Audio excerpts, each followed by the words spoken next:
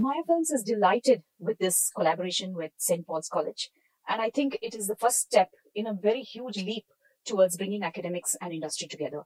I, as a founder director of Maya Films, have had this pet passion of trying to bridge the gaps be- between academics and industry.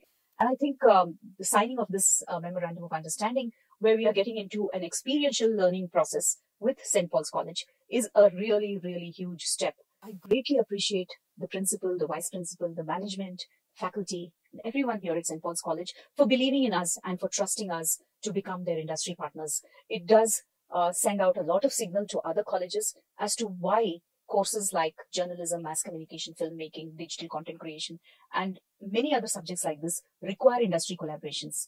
And I'm sure that this collaboration is going to send out a lot of green signal to everybody around.